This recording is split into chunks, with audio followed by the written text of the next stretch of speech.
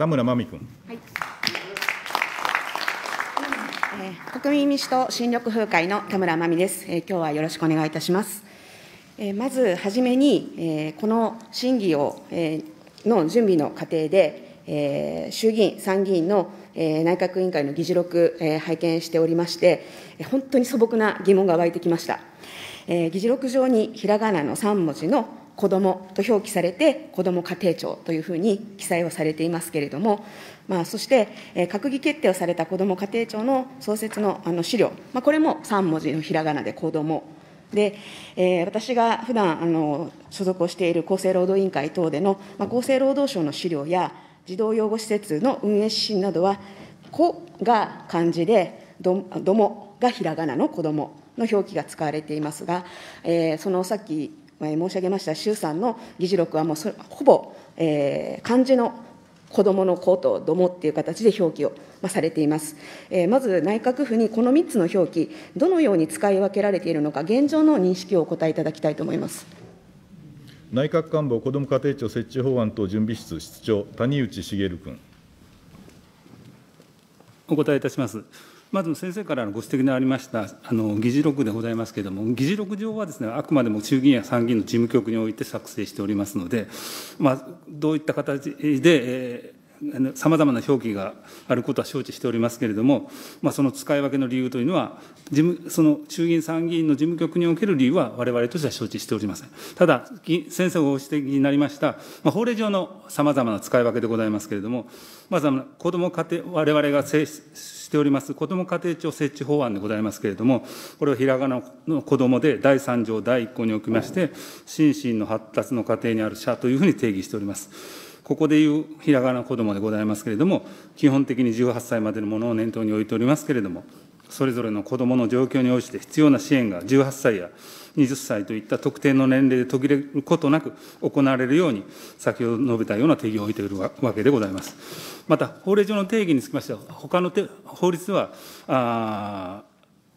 さまざ、まなあの定義を置いておりまして、例えば漢字の子どもでございます、公職選挙法における漢字の子どもでございます。ここにおきましては、幼児、児童、生徒、その他の年齢、満18歳未満の者というふうに定義されております。また、漢字かな混じりの子どもでございますけれども、これにつきましては、例えば子ども子育て支援法におきまして、18歳に達する日以後の最初の3月31日までの間にある者と定義されている一方で、別の法律、例えば子どもの貧困対策の推進に関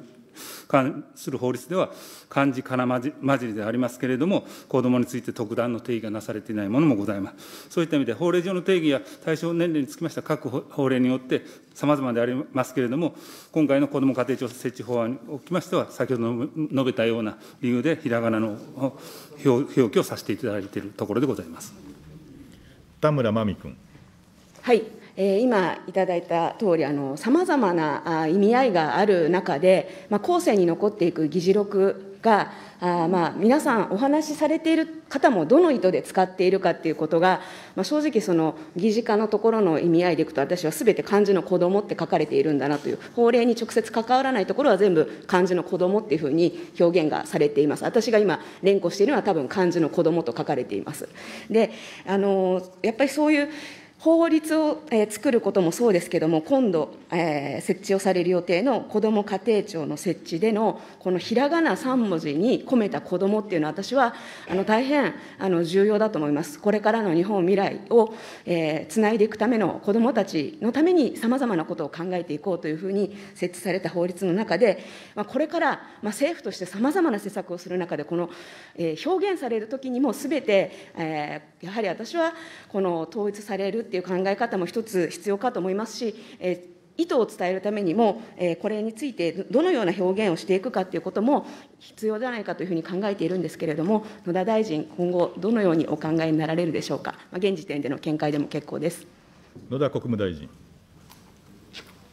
お答えいたします。えー、設置法案におけるひらがなの子どもの定義については、まあ、これまでも国会での審議をはじめ、さまざ、まなところで、ご説明させていただいているところで、あ今、石形も参考人から説明がありましたが、子ども家庭庁法案、えー、子ども家庭庁法案では、ひらがなの子どもを心身の発達の過程にあるものと定義しています。これは基本的に18歳までのものを念頭に置いておりますが、それぞれ子どもの状況に応じて必要な支援が18歳とか20歳といった特定の年齢で途切れることなくしっかりと行われるようにということで定義をいたしました。で、あの繰り返しになりますけれども、国会審議及び各会議体での議事録については、各事務局で各々のの目的等に応じ、個々に作成されるものと承知しています。が私としては、ひらがなで子どもと規定した趣旨なども踏まえていただき、各事務局等でご対応いただければありがたいと考えています。いずれにしても、重要なのは、子ども目線で誰一人取り残さず、抜け落ちることもなく、子どもをしっかりと支援していくことだと考えております。この基本理念のもと、子ども政策、しっかり取り組んでまいりたいと考えています田村真美君。はい、あの重要なのは、えー、子どもたちに対する支援だというふうに答弁いただきました。えー、最近のあの、えー、内閣の審議されている中で、ちょっと通告なしでも野田大臣が多少お答えされているのをもみ受けしたので、ちょっと私、昨日テレビ番組、夜 あの10時からのテレビ番組でたまたま見てしまったので、通告してないので、もしあの難しかったら答弁結構なんですけれども、え実はあの NHK の、えー、ヒューマニエンスという番組で、あの思春期ということを取り上げられてました。で思春期はえー、脳科学の中では、まあ、MRI の画像診断では、30歳程度まで、えー、その思春期だというふうに捉えられるというようなあその報道がされていました。まあ、先ほどから来、え、子どもが心身の発達の過程にあるものであれば、というところでいくと、まあ、社会通念上、この思春期っていうのは、まあ、心身ともに発達するという期間というふうに捉えられるというふうに、私は認識しています。また、日本産婦人科医会では、年齢においてのこの体の変化を思春期の定義としても書いているわけなんですね。なのでその今後のこの政策の中でも、じゃあ、思春期は子どもかっていうような、まあ、質問が出たときに、それ何歳までって捉えるのかっていう、大変難しい課題があるんというふうに私は思っています。まあ、こういうあの年齢の定めはない、おおむね18歳とはいえというふうな形でやっている中で、まあ、今後の施策で、こういう課題が出てきたときに、どうやって対応していくかっていうところ、現時点で何かご見解あれば、もう本当に答弁、すみません、あの通告してませんけれども、お願いできればと思います。野田国務大臣。通告ないので、思春期ということに対して困難を持ったかどうかっていうのが大あの大切なところだと思います。あの誰一人取り残さない。で、思春期において、えー、困難を抱えたあ子ども、まあえー、原則は18歳ですけど、それを超える、まあ、青年、えー、青年期と言われる人たちも当然、私たちが支援できることはしっかりしていくというあの趣旨に捉えていただければと思います田村真美君。はい、ありがとうございます。あのこの先も子ども政策を進めるにあたって、えーまあ、組織の壁や年齢の壁を突破してこう進めていくっていうことなんですけれども、まあ、ぜひ財源優先ではなくて、現実に起きている課題と、まあ、学齢や年度や年齢あの、医学的にというような、いろんな角度から多くのあの子どもの成長に資するあの施策を、えー、ぜひ進めていただきたいというふうな思いで、まあ、今回、ちょっとあえて聞かせていただきました。ありがとうございます。さて、えー私自身、実はあの子供を持ちたいと思っていたんですけれども、実は授かることなく、あの不妊治療も何度か繰り返したんですが、難しいまま、えー、今、えー、夫と2人で暮らしています。まなので、自分が子育てはしてないんですけれども、持ちたいって思いでいけば、本当に今、えー、生まれようとしている子どもだったり、生きている子どもたちにしっかりと支援していただきたいなっていうふうに思っています。で、えー、昨日、えー、予算委員会で伊藤孝議員が質問しました。え参議院の、え予算委員会です。え乳児院と児童養護施設、この統合についてお尋ねをしました。実はあの伊藤孝議員の質疑を見て、69歳の主婦の方が、まあ、ご自身のお名前を明かさずにあの、本当になんとかしてほしいっていう悲痛なあの言葉で、えー、語られてたお手紙、私も読ませていただきました。まあ、乳児院のあの子どもたちが、まあ、2歳ぐらいで児童養護施設に移される、まあ、これをどうにかやめてほしいと。まあ、一度、えー、生みの親からこう離れた、まあ、そこからもう一度またそこまで2歳程度まで育ててもらった、えー、人たち大人から引き剥がされる、まあ、この経験本当に苦しいものだというふうに、えーまあ、書かれていたお手紙を紹介して、えー、岸田総理からは2つの施設を一緒にすることについては、まあ、現実、今、厚生労働大臣から説明したとおりでありますが、少なくとも議論を進めるということはあってもいいのではないか、議論を行うということはあってもいいのではないか、このように思いながら聞いておりましたと、まあってはいいのではないかということを2回繰り返して、まあ、私たちは前向きな答弁いただいたというふうに受け止めました。まあ、現状、所掌が、えー、後藤厚生労働大臣ということですので、まずはこの総理の答弁を踏まえて、今後、乳児院と児童養護、えー、施設、入所児童のこの施設の統合について、議論を始める、これ、どのようにお考えでしょうか？後藤厚生労働大臣。あの予算委員会でもご答弁したとおりで、まあ、乳児院と児童養護施設は、入所する子どもへの必要な支援の内容などが異なるで、それぞれの特性に応じた基準等を定める必要があることから、まあ、児童福祉法上に別の施設類型とした上で、まあ、相互に適切な連携を図りつつ、それぞれが必要な役割を果たすことが重要だというふうにご説明をさせていただきました。あの相互に適切な連携が必要ということは、あの環境変化などにより、必要以上に影響を受けることについては、もう可能な限り避けると。ですから今あの委員からご指摘のあったような点についてはあの我々としてもあの重要な点だというふうにあの思っています。ですから現在でも例えば同じ敷地内にある児童養護施設に移行するように優先させてみたり施行の前後で職員の円滑な円滑な引き継ぎが図られるようにとか、そういうことについては、非常に配慮をしているわけでございます。それでお尋ねの総理が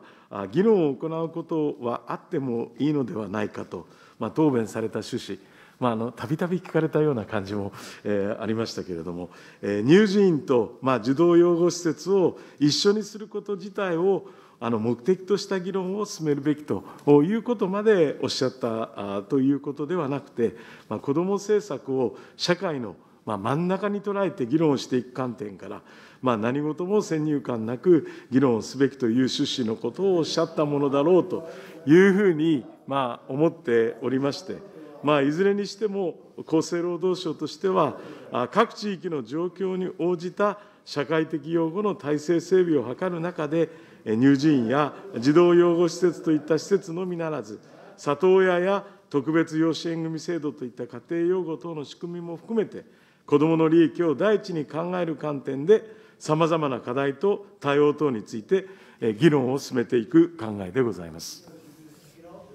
田村真美君。はい、えー、今日本当に私、これ、聞くかどうか迷ったんです。あのまあ、今の答弁だと、えー、ちょっと難しいなと、でも私、あの伊藤孝恵議員に、ぜひ野田大臣に聞いてきてほしいと託されてるんです。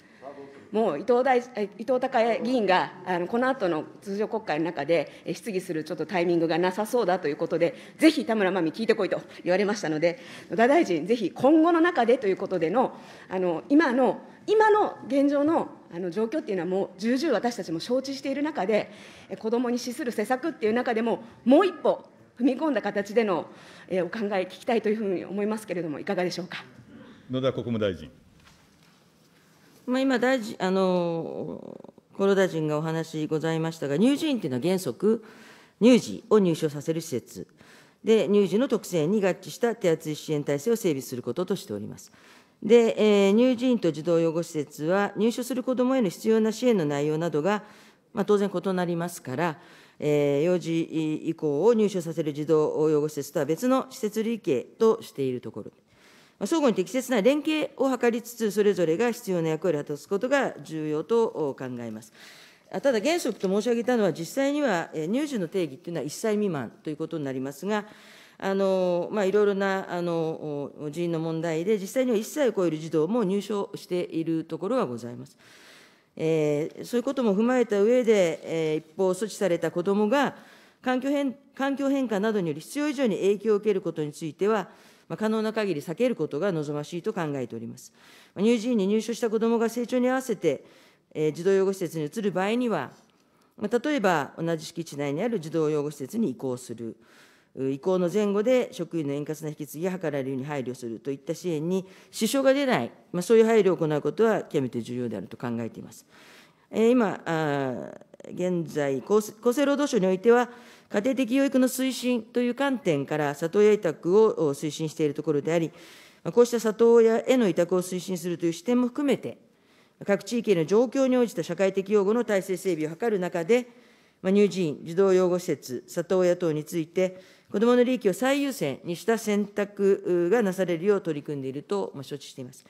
こども家庭庁においては、子どもの最善の利益を第一に考え、必要な支援が行われるように取り組んでまいります。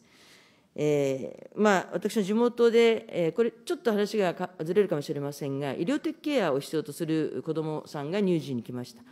ところが、その状況が近くの養護施設では受け入れられないということで、しばらく医療的ケア児は乳児院で、えー、年を重ねてきたという、まあ、その現実現実的な対応もあります。そこはあのそういう事例もあることを踏まえて、子どもにとって何が最善かということを、まあ、しっかり捉えていきたいと思います田村真美君。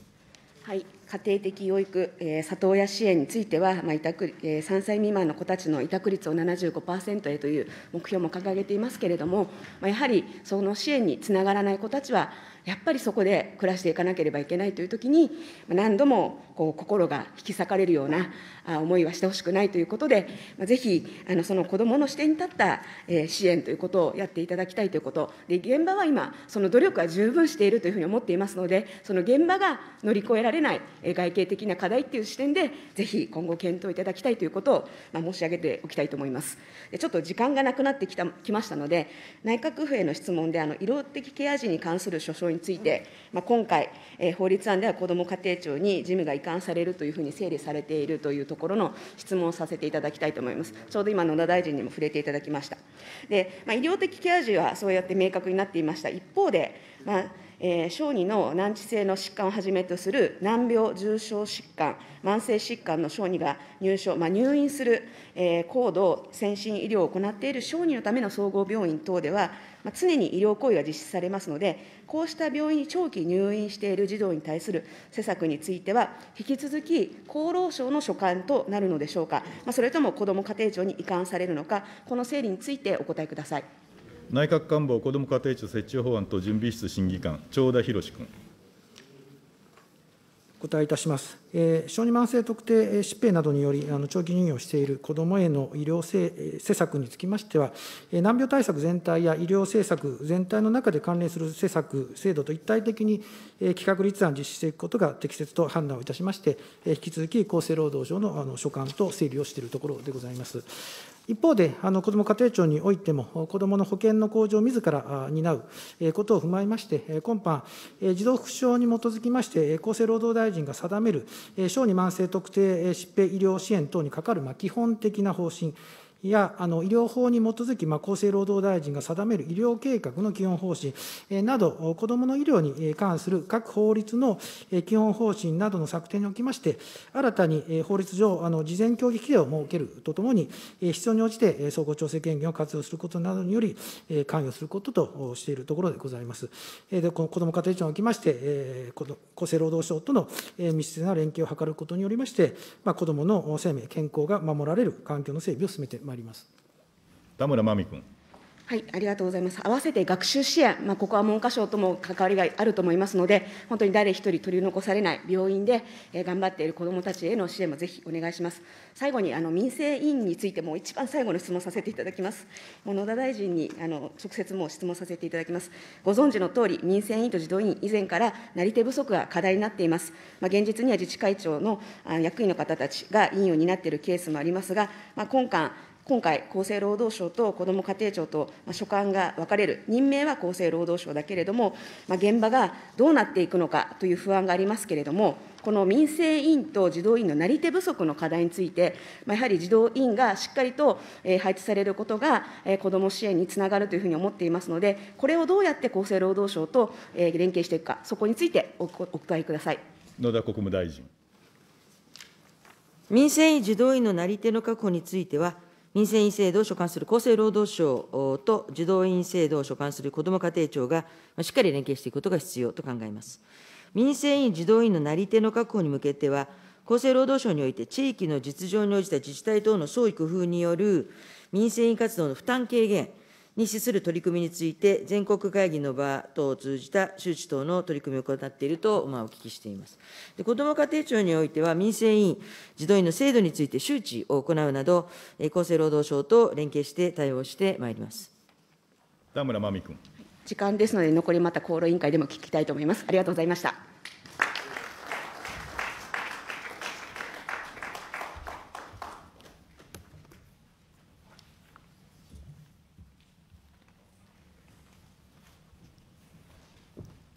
石井光子。